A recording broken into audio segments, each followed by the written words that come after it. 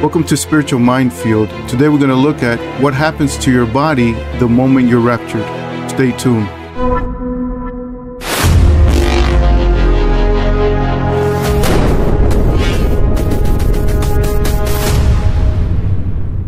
So we're going to go to 1 Corinthians chapter 15 and we're going to start in verse so let's go to down here first. Let's go to verse 50.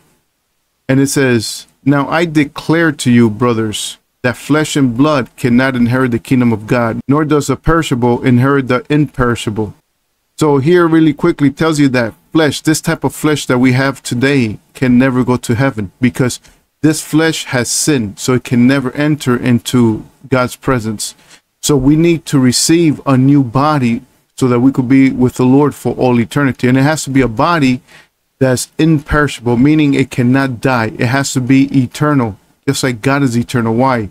Because we're going to be with Him forever. So we need a body that's going to last forever. Now, what type of body is He referring to here? One body that's imperishable. So let's go now to verse 42. So will it be with the resurrection of the dead.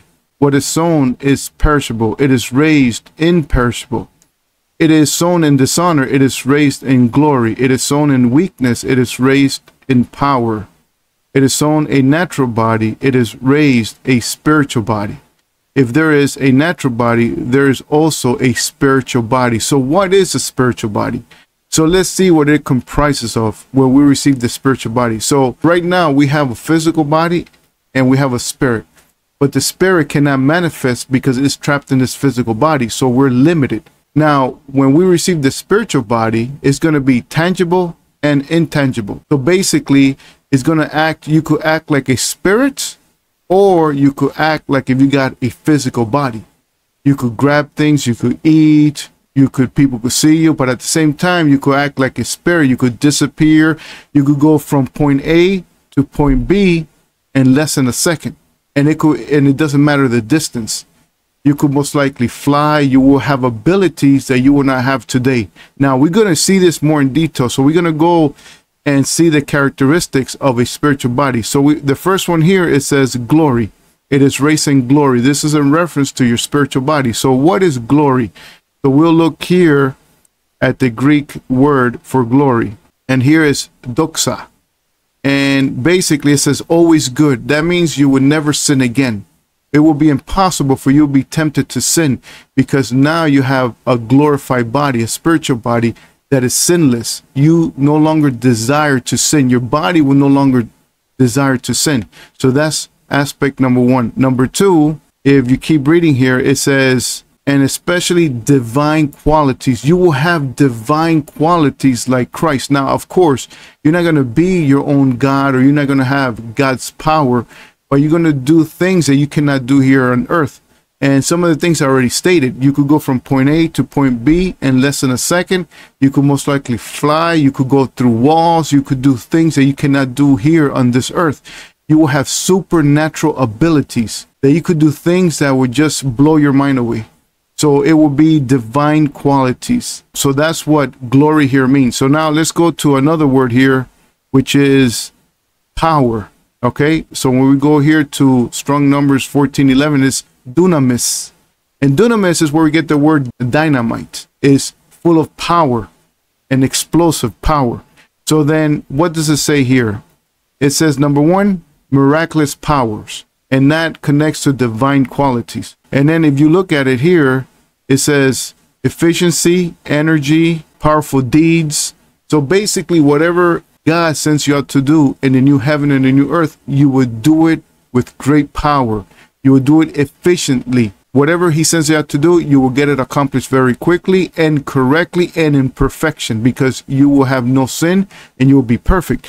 So it, it shows you here that you have great power supernatural abilities, and also you'll be sinless and accomplish God's will very, very quickly.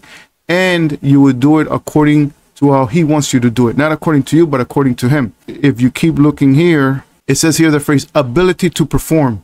See, that's what I'm saying that whatever God sends you out to do, you will do it in perfection. If we go back here to 1 Corinthians 15, glory and power signifies that you will be completely different from what you are today and you will have supernatural ability. Now, this is something that we cannot even imagine the type of power you're going to have, the type of ability to do whatever it is that God sends you out to do, whatever we're going to do in the new heaven and the new earth, I do not know. It doesn't really specify. But I know that whatever you're going to do, it will be done in perfection. Now, let's go here and let's keep reading. Now, let's go to verse 51. Listen, I tell you a mystery. We will not all sleep, but we will be changed so here's telling you about the rapture that not everybody will die physically. There will be some Christians at the time of the rapture that will be alive when it takes place, and they will be transformed from a physical body to a spiritual body in the twinkling of an eye really quickly. Okay, verse 52. In an instant, in the twinkling of an eye, at the last trumpet, for the trumpet will sound, the dead will be raised imperishable, and we will be changed. For the perishable must be clothed with the imperishable, and the mortal with immortality. When the perishable has been clothed with the imperishable and the mortal with immortality, then the saying that is written will come to pass Death has been swallowed up in victory. Where, O death, is your victory? Where, O death, is your sting? So basically, the moment the rapture occurs, the moment it happens, you will no longer experience death death will no longer exist for you. You will not even know what death is. So basically, you will live forever and ever with the Lord Jesus Christ. You will never die. You will never see death because now you're going to have a spiritual body like Jesus has a spiritual body. You're going to have the same body Jesus has in the sense that you will live forever and the laws of physics no longer applies to you. And it will be amazing. You would be in the new earth. Now, before uh, Jesus creates a new heaven and new earth, we're going to come down here with Jesus for 1,000 years to rule here on earth. That means that your body no longer will adhere to the laws of physics. So basically, you could do things that the regular humans here on earth cannot do. You could, you know, you won't need any more a car, you won't need a plane, you will not need any type of transportation. You know, like I said earlier, you could get from point A to point B. Let's say you could get from Florida to New York in less than a second or you could get from from Florida all the way to say to Japan in less than a second. There will be no restriction. It will be that awesome. And then you're going to represent the Lord Jesus Christ wherever he puts you on the earth. You're going to be his ambassador and you're going to represent him and you're going to rule alongside Christ and bring justice and righteousness to the place he sends you to. So the moment the rapture happens, the moment it comes to pass, you'll be transformed into something supernatural with divine qualities. That's what we're expecting at the rapture. And that's what the scriptures lit literally says that we'll be transformed and it will be something that's you cannot even imagine, something never even thought about. That's going to be awesome. Now, if you do not have Jesus Christ today, if you don't have Christ in your heart, you will not experience the rapture. What you need to do is you need to believe that Jesus died for you on the cross on the third day, he rose from the grave. And if you put your trust and faith in Jesus Christ and want to live for him and want to live for righteousness, he will give you eternal life. He will give you his spirit that will live inside of you, cleanse you of all your sins. And from that moment on, you will live for Jesus Christ. And the moment Jesus comes to get his church, you will be included. Do not wait. Remember, you're not guaranteed tomorrow. Thank you for listening.